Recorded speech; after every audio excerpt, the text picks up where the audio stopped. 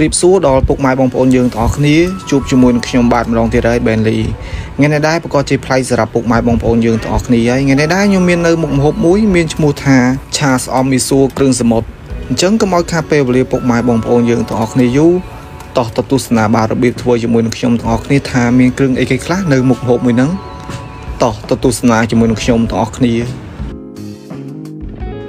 ប្រាប់បានមុខម្ហូបបាឆាស្អមមីសូនេះដែរគឺថាអត់សូវមានគ្រឿងច្រើនប៉ុន្មានទេបងប្អូនយើងទាំងអស់គ្នានឹងហើយហើយនេះដែរបាទយើងមានជាមួយនឹងមីសូពុកម៉ែបងប្អូនយើងទាំងអស់គ្នាបាទត្រាំជាមួយនឹងទឹកត្រជាក់អញ្ចឹងទៅបាទឲ្យវាបាទរៀងតុននឹងហើយបន្ទាប់មកបាទយើងមានជាមួយនឹងពគាក៏ដូចជាបាទមឹកហើយនេះដែរបាទសាច់គោបងប្អូនយើងទាំងអស់គ្នានឹងហើយហើយបន្ទាប់មកបាទយើងមានជាមួយនឹងបាទម្ទេសក៏ដូចជាបាទខ្ទឹមហើយចំពោះម្ទេសដែរបើសិនជាបងប្អូនយើងទាំងអស់គ្នាអត់ចូលចិត្តអត់ចាំបាច់ដាក់ក៏បានដែរហើយនេះដែរបាទម្រះប្រៅបងប្អូនយើងទាំងអស់គ្នាបាទក៏ដូចជាបាទស្អំអញ្ចឹងបាទខ្ញុំយកស្អប់នេះបាទយកទៅបេះបាទលាងទឹកឲ្យស្អាតសិន តោះទៅទស្សនាបាទរបៀបធ្វើជាមួយនឹងខ្ញុំទាំងអស់គ្នានេះដែរឃើញថាបាទទឹកយើងពុះឲ្យបងប្អូនយើងទាំងអស់គ្នាហ្នឹងហើយបាទយើងចាប់ផ្ដើមបាទចាក់គ្រឿងសមុទ្រយើងបាទស្រោះមកហើយចំពោះការស្រោះគ្រឿងសមុទ្រនេះដែរបងប្អូនយើងទាំងអស់គ្នាបាទយើងស្រោះវាបាទឲ្យឆ្អិនហ្មងទៅហ្នឹងហើយបាទចាំយើងបាទយកវាយកទៅឆា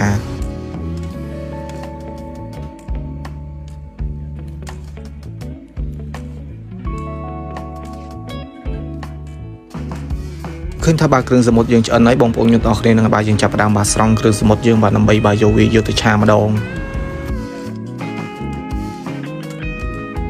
ឥឡូវនេះដែរឃើញថាបាទយើងបានស្រង់គ្រឿងសមុទ្រយើងហើយហើយតោះទៅមើលខ្ញុំឆាទាំងអស់គ្នាឥឡូវនេះដែរបាទយើងចាប់ផ្ដើមបាទចាក់ប្រេងឆាបាទដើម្បីបាទរំលេងបាទខ្ទឹមក៏ដូចជាបាទម្ទេសយើងឲ្យឡើងឈ្ងុយបន្តិចសិនចាំយើងចាប់ផ្ដើមបាទដាក់គ្រឿងចូលបន្ថែមទៀត នេះដែរឃើញថាបើខ្ទឹមនិងម្ទេសយើងឡើងឈ្ងុយល្អហើយយើងចាប់ផ្ដើមបាទចាក់ជាមួយនឹងសាច់គោយើងចូលមកចំពោះសាច់គោនេះដែរបងប្អូនយើងទាំងអស់គ្នាបាទអាចប្រើបាទសាច់កភួនក៏បានបាទសាច់ផុយដូចខ្ញុំអញ្ចឹងក៏បានដែរឬមួយបាទសាច់ស្រួយហ្នឹងហើយអញ្ចឹងបងប្អូនយើងទាំងអស់គ្នាបាទអាចដាក់ទៅតាមចំណង់ចំណូលចិត្តបានឥឡូវនេះដែរបាទយើងចាប់ផ្ដើមបាទឆាឲ្យសាច់យើងបាទរៀងឆ្អិនបន្តិចសិនចាំយើងចាប់ផ្ដើមបាទចាក់ជាមួយនឹងគ្រឿងសមុទ្ររបស់យើងចូលនេះដែរបាទយើងចាប់ផ្ដើមបាទចាក់គ្រឿងសមុទ្រយើងចូលមកហើយយើងចាប់ផ្ដើមបាទឆាឲ្យបាទសាច់ទាំងអស់ហ្នឹងបាទរៀងឆ្អិនបន្តិចសិនចាំយើងចាប់ផ្ដើមបាទដាក់គ្រឿងចូលបន្ថែមទៀត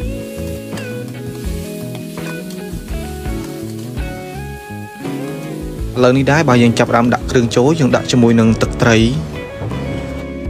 បន្ទាប់មកបើយើងចាប់ផ្ដើមបានដាក់ជាមួយនឹងប្រេងខ្យងឥឡូវនេះដែរបើយើងចាប់ផ្ដើមបានឆាវាឲ្យរៀងសព្វគ្រឿងគ្នាបន្តិចសិនចាំយើងចាប់ផ្ដើមបានដាក់គ្រឿងចូលបន្ថែមទៀត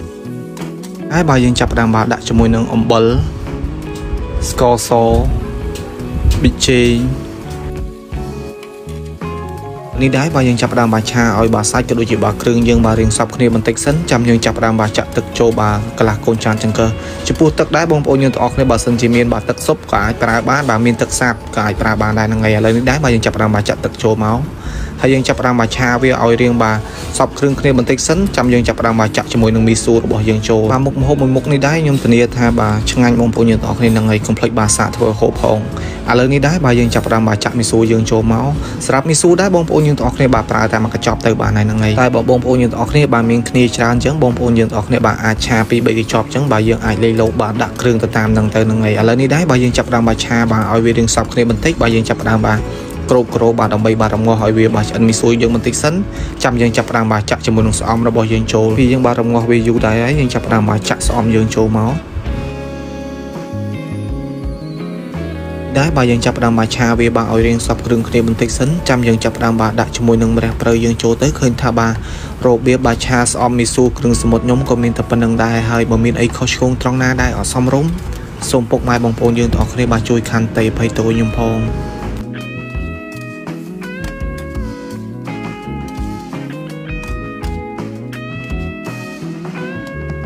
ថាបើយើងបានឆាវាសពគ្នាល្អហើយយើងចាប់ផ្ដើមមកដាក់ជាមួយនឹងម្រះព្រៅយើងចូលមកហើយយើងចាប់ផ្ដើមមកឆាវាបានមកត្រឡប់ពីត្រឡប់បាទឲ្យស្លោកម្រះព្រៅទៅឃើញថាបាទរបៀបបាទឆាស្អំបាទមីស៊ូគ្រឿងសមុទ្រខ្ញុំឆ្អិនហើយ100%ហើយបងប្អូនយើងទាំងអស់គ្នាបាទកុំភ្លេចបាទធ្វើនៅមុខម្ហូបមួយនេះបាទហូបផងហើយបើមានរសជាតិមិនបាទកុំភ្លេចបាទជួយខមមិននៅក្រោមវីដេអូនេះម្នាក់មួយក៏ដូចជាបាទផ្ដល់ជាមតិឲ្យខ្ញុំផងហ្នឹងហើយគុណច្រើនដល់ពុកម៉ែបងប្អូនយើងទាំងអស់គ្នា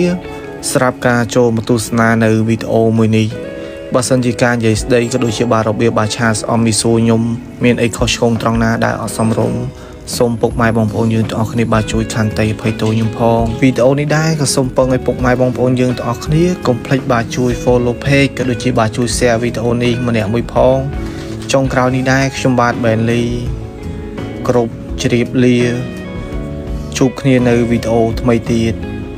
អរគុណច្រើនដល់ពុកម៉ែបងប្អូនយើងទាំងអស់គ្នាសម្រាប់ការចូលមកទស្សនានៅវីដេអូមួយនេះអរគុណច្រើន